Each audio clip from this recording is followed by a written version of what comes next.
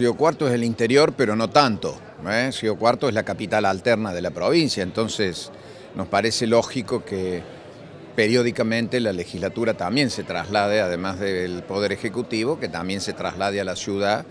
y sesionar aquí en Río Cuarto. Con respecto al convenio que se va a firmar o al acuerdo que se va a firmar para lo que es eh, ordenar lo que es la cuenca del río Cuarto, cuál es la relevancia y sobre todo la importancia de los actores que allí van a estar involucrados. Creo que es muy importante y seguramente de ese convenio y del trabajo multidisciplinario y de todos los actores, como vos decís, que van a participar en el trabajo, seguramente habrá después eh, elementos y material suficiente para alguna norma legislativa que definitivamente regule la problemática del río Cuarto. Eh, es un tema que lleva mucho tiempo, la extracción de áridos, las costas, el saneamiento, los efluentes, etcétera, etcétera. Me parece que va a ser una buena cosa que,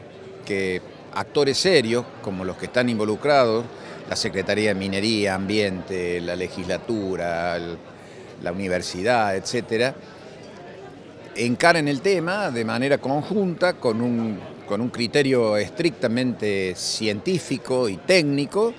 totalmente despolitizado y que de eso tengamos material suficiente para una norma legislativa que, que deje para todos los tiempos, o por lo menos por un largo tiempo, ordenado el tema.